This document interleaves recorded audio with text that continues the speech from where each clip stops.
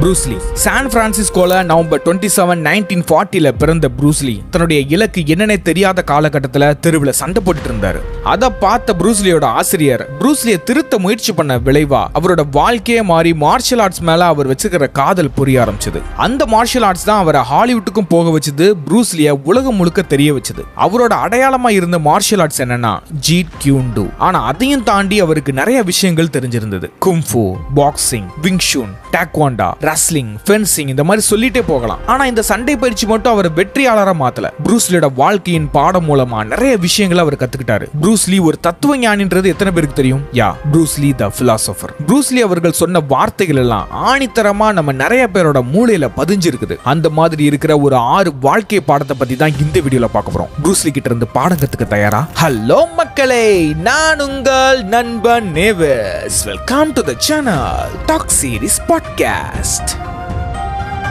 number one apply நாம என்ன நினைக்கிறோமோ அப்படிதான் நம்ம வாழ்க்கையும் மாறும். ஈர்ப்பு விதி அதை தான் சொல்லுது. ஆனா ப்ரூஸ்லி என்ன சொல்றாருன்னா நீ நினைச்சிட்டே இருந்தா மட்டும் வாழ்க்கையில வெற்றி பெற முடியாது. செயல்படணும். மேபி லா ஆஃப் அட்ராக்ஷன்ல கூட ஒரு லாங் டைம் கோலா வச்சிருப்போம். அதை இன்னைக்கு நாளைக்குன்னு உடனே பண்ண முடியாது தான் ஆனா உங்களால முடிஞ்சா ஒரு சின்ன ஸ்டெப் எடுத்து வைக்க முடிஞ்சா கண்டிப்பா அதை வைங்க. அதை தான் ப்ரூஸ்லி சொல்ல வராரு. ஒரு விஷயத்தை நீங்க பண்ணணும்னு ரொம்ப ஆசைப்படுறீங்க. அதை பத்தி நினைச்சிட்டே இருக்கிறீங்க. உங்களை சுத்தி இருக்கிறவங்க எல்லார்கிட்டயும் இதை பண்ணலாம்னு ஐடியால இருக்கிறேன் அப்படின்னு சொல்லி எல்லார்கிட்டயும் சஜஷன் கேக்குறீங்க. அப்ப யாராவது உங்ககிட்ட வந்து இவ்வளவு விஷயம் தெரிஞ்சு வச்சிருக்கிறேல்ல அப்ப இறங்கி பண்ண வேண்டியதானே அப்படின்னு யாராவது கேட்டாங்கன்னா இல்ல அவசரப்படக்கூடாது. எல்லாத்தையும் தெரிஞ்சுக்கிட்டு தான் நான் அதுல இறங்கணும். அப்பனா தான் அதுல தோத்து போக மாட்டேன் அப்படின்னு சொல்லுவீங்க. நம்மள நிறைய பேர் அப்படிதான் இருக்கிறோம். ரொம்ப பெரிய விஷயங்கள் கூட வேண்டாம். சின்ன சின்ன விஷயங்கள்ல கூட இப்ப இதை பண்ணலாமா வேணாமான்னு யோசிச்சு யோசிச்சு அந்த வேலையை நம்ம தள்ளி போட்டுட்டே இருக்கிறோம். டெய்லி ஒரு ரெண்டு பேஜாவது படிக்கணும்னு நினைப்போம். இல்லைன்னா காலையில குறைஞ்சது ஏழு மணிக்காவது முழிக்கணும்னு நினைப்போம். அந்த நேரத்துல நம்ம மூளைக்குள்ள ஒரு போராட்டமே நடக்கும். இதை பண்ணலாமா வேணாமா? இன்னும் கொஞ்ச நேரம் கழிச்சு பண்ணிக்கலாம்.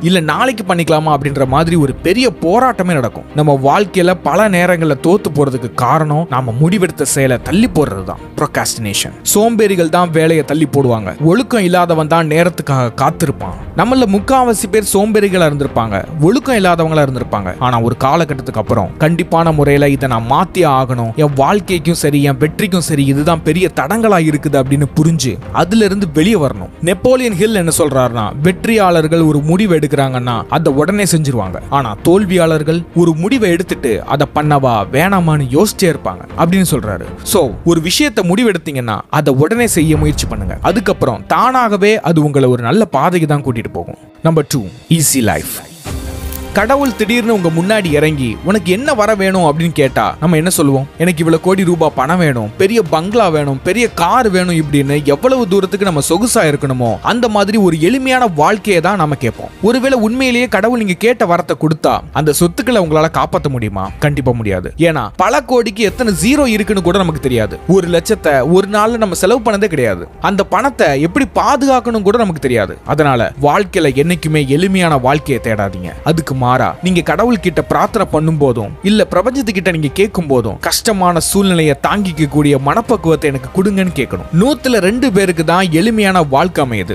வழி இல்லாத வாழ்க்கை அமையுது. மீதி இருக்கிற தொண்ணூத்தெட்டு மக்களுக்கும் வழிகளும் ரணங்களும் நிறைஞ்ச வாழ்க்கை தான் இருக்குது. இப்ப இந்த தொண்ணூத்தெட்டு மக்கள்கிட்ட போய் உங்க வாழ்க்கை எப்படி இருக்குதுன்னு கேட்டா என் வாழ்க்கை ரொம்ப கஷ்டமா இருக்குதுன்னு தான் சொல்லுவாங்க. ஆனா உண்மையிலேயே நம்ம வாழ்ந்துகிட்டு இருக்கிற வாழ்க்கை ரொம்ப எளிமையானது. யார் பிரச்சனைகளை வாய்ப்பா பாக்குறாங்களோ யார் வழிகளை தாங்குறாங்களோ இந்த வழிகளுக்கு ஏத்த மாதிரி யார் அவங்கள தயார்படுத்திக்கிறாங்களோ அவங்களுக்கு தான் இந்த வாழ்க்கை எளிமையா இருக்கும். நம்பர் த்ரீ அப்சர்வ் இது எனக்கு ரொம்ப பிடிச்ச விஷயம். Observe what is useful discard what is not add what is uniquely your own நமக்கு எது தேவையோ அதை தான் பார்க்கணும் கேட்கணும். நமக்கு தேவையே இல்லாத விஷயத்த பார்க்கவும் கேட்கவும் கூடாது. இதுல என்ன ப்ரோ இருக்குது? எனக்கு தேவையானதை நான் கேட்க போறேன் பார்க்க போறேன் அப்படின்னு கேட்டீங்கன்னா உண்மையிலேயே நீங்க பாக்குறதும் கேட்கறதும் தேவையுள்ளது மட்டும்தானா? ஒரு முருங்கை மரத்துல எத்தனை இலை இருக்குது? என்னது? இப்படி பண்ணா அப்படி நடக்குமா? வாங்க வீடியோக்குள்ள போகலாம். அப்படின்னு நிறைய விஷயங்களை ரீல்ஸ்லயும் ஷார்ட்ஸ்லயும் பாக்குறீங்க தேவையில்லாத விஷயங்களை தெரிஞ்சு நீங்க என்ன செய்ய போறீங்க? ஒரு தேவையுள்ள கருத்தை பாக்குறீங்க அதுல சொன்ன வார்த்தைகள் உங்களுக்கு ரொம்ப ஒத்து போகுது இல்ல ரொம்ப பிடிச்சிருக்குது. உங்க வாழ்க்கைக்கு ரொம்ப உபயோகமா இருக்க போகுதுன்னு யோசிச்சீங்கன்னா தயவு செஞ்சு ஒரு நோட்டை எடுத்து எழுதுங்க. இது ஒரு நல்ல பழக்கம். நோட் இல்லாட்டியும் பரவாயில்ல ஒரு மொபைல் எடுத்தாவது நோட் பண்ணி வைங்க. தேவையில்லாத விஷயங்களை வாழ்க்கையில இருந்து நீக்கிட்டாலே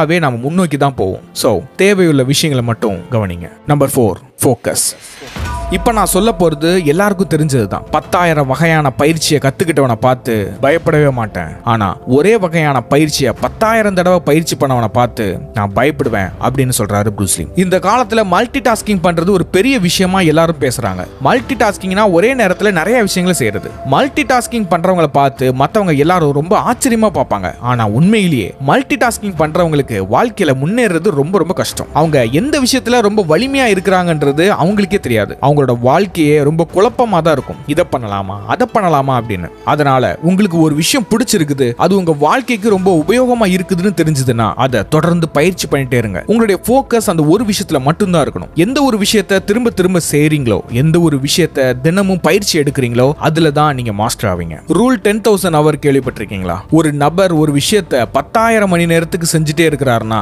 அந்த துறையில அவர் பெரிய ஜாம்பவனா மாறுவார்னு ஆய்வுகள் சொல்லுது. ஸோ ஒரே ஒரு விஷயத்துல கவனத்தை செலுத்துங்க அதையே பல தடவை பயிற்சி பண்ணுங்க. நம்பர் ஃபைவ் திங்ஸ் இது என் வாழ்க்கையில ரொம்ப நாளாவே நான் பின்பற்றக்கூடிய விஷயம். என்னன்னா the more we value things the less we value ourselves இந்த கார்ட்ஸ் எல்லாரும் எப்படி சொல்லுவாங்கன்னா பொருட்கள் மேல நம்ம அளவுக்கு அதிகமா மதிப்பை கொடுக்கும்போது நாம நம்மளை இழந்துடுறோம். அதனால பொருட்கள் மேல நாட்டம் கொள்ளாம உங்களை செதுக்கக்கூடிய விஷயங்கள்ல உங்க வாழ்க்கைக்கு எது ரொம்ப முக்கியன்ற விஷயத்துல கவனத்தை செலுத்துங்க அப்படின்னு சொல்லுவாங்க. ஆனா நான் அதை எப்படி எடுத்துக்கிறேன்னா வாழ்க்கையில நிறைய பேரை நான் பார்த்திருக்கேன். அவங்க ஒரு விஷயத்த முடிவு பண்ணிருப்பாங்க அது ரொம்ப நாளா யோசிச்சே இருப்பாங்க அதை பண்ணவே மாட்டாங்க.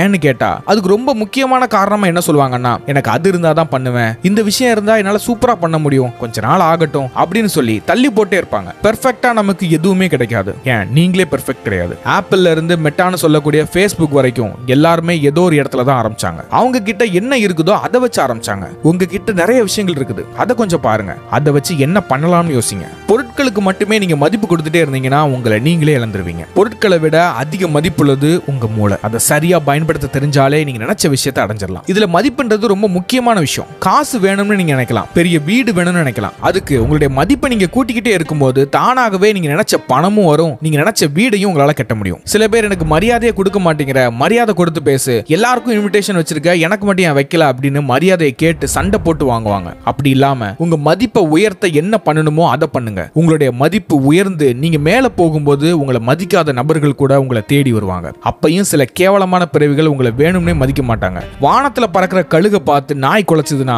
கழுகு வருத்தப்படுமா? அந்த மாதிரி. அதெல்லாம் தட்டி விட்டு போயிட்டே இருக்கணும். ஸோ பொருட்கள் மேலே மதிப்பு கொடுக்காம உங்களை நீங்கள் மதிக்க ஆரம்பிங்க. நீங்கள் நினச்சது தானாகவே உங்களை தேடி வரும். Number six water empty your mind be formless shapeless like a water Bruce Lee என்ன சொல்றாருன்னா ஒரு உருவம் இல்லாத தண்ணி மாதிரி இருக்கணும்னு சொல்றாரு. இது என்ன பச்சோந்தி மாதிரி மாறிக்கிட்டே இருக்கணுமா? அப்படின்னு கேட்டிங்கன்னா இது அந்த மாதிரி இல்லை. நம்ம வாழ்க்கையில சில பொறுப்புகள் வரும். நம்மளுடைய சூழ்நிலை மாறும் நம்ம பதவிகள் மாறும். அந்த நேரத்துல அந்த பொறுப்புக்கு ஏத்த மாதிரி சூழ்நிலைக்கு ஏத்த மாதிரி பதவிக்கு ஏத்த மாதிரி நம்மளை நாமளே மாத்திக்கணும். நம்மளை மாத்திக்கணும்னா நம்ம உருவத்தை மாத்திக்கணும். குணத்தை மாற்றிக்கக்கூடாது கூடாது பச்சை தண்ணியை ஒரு கப்பில் ஊற்றும் போது அந்த கப்புக்கு ஏற்ற மாதிரி உருவத்தை தான் மாற்றும் பச்சை தண்ணி பாயாசமாகவும் மாற போறது இல்ல நம்ம வாழ்க்கையில் நிறைய பிரச்சனைகள் வரும் நிறைய கஷ்டங்கள் வரும். ஒரு பெரிய பண பிரச்சனை கூட ஏற்படும். அந்த நேரத்தில் தண்ணி மாதிரி உருவத்தை மாற்றிக்கணும்னு சொல்லி பணத்துக்காக திருடுறது தப்பு இல்லை கொள்ளடிக்கிறது தப்பு இல்லைன்னு சொல்லி தவறு பண்ணக்கூடாது. அந்த பிரச்சனைக்கு ஏற்ற மாதிரி உங்கள் மனசை மாற்றிக்கணும் அந்த பிரச்சனைக்கு ஏற்ற மாதிரி உங்களை நீங்கள் தயார்படுத்திக்கணும். தண்ணி மாதிரி இருக்க பழகுனீங்கன்னா